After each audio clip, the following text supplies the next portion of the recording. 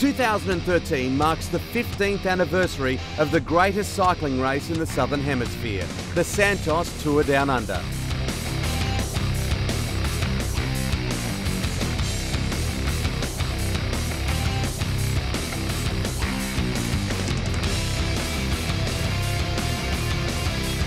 Nineteen ninety nine was the start of Australia's premier cycling extravaganza, and some of the sport's biggest stars joined the huge crowds to witness a fairy tale finish as South Australia's very own Stuart O'Grady secured the inaugural event.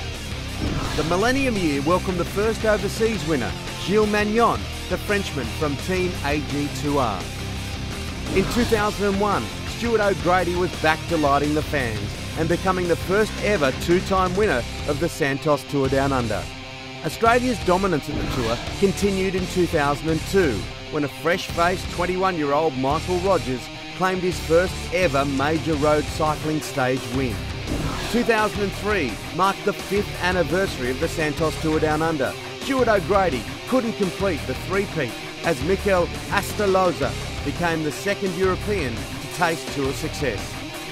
One of the legends of Australian cycling, Patrick Jonker, made the perfect retirement from professional cycling, winning the 2004 event in his last race. The Uni SA Australia rider set up victory from the first stage and kept the yellow jersey on his back for all six stages, becoming the second South Australian to win the tour. In 2005, Australian sprint star Robbie McEwen won yet another stage, whilst Alberto Contador won the Jayco Stage 5 at Willunga. The Spaniard still claims it was the most important win of his career after recovering from a coma.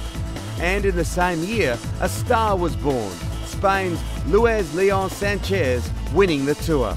2006 saw some red-hot cycling. On the track... Well, Gerrans thinks he's got him, but watch out because Sanchez is running right on top of him and he doesn't make it. And on the thermometer. It's hot. It's damn hot. Simon Gerrans backed up his first ever stage win with overall victory at the 2006 Santos Tour Down Under and wore the first ever ochre leader's jersey. 2007 witnessed yet another stage win for Australia's Robbie McEwen. Swiss rider Martin Elmiger secured the overall honours for AG2R. 2008 was an historic moment in the Santos Tour Down Under as it became the first race outside of Europe to join the prestigious UCI Pro Tour. It also marked the arrival of a German sprint sensation that would soon be a name synonymous with victories at the Santos Tour Down Under. And it's Greipel who gets the stage win for Germany. The Team High Road Rider secured victory in the Tour with his fourth stage win on the final day. The following year was not as successful for Andre Greipel. With a UCI Pro Tour title up for grabs, one Australian shone the brightest. Allan Davis is coming through on the outside and he's going to get this. Allan Davis signing his name in tour history. In 2010, the whole of Australia was seeing rainbows, and the world champion put on a real show for the thousands of fans. Look at the crowd now as they spot the rainbow jersey. Is there going to be gold at the end of this rainbow? But with three sensational stage victories, Andre Greipel wrapped up his second Santos Tour Down Under title.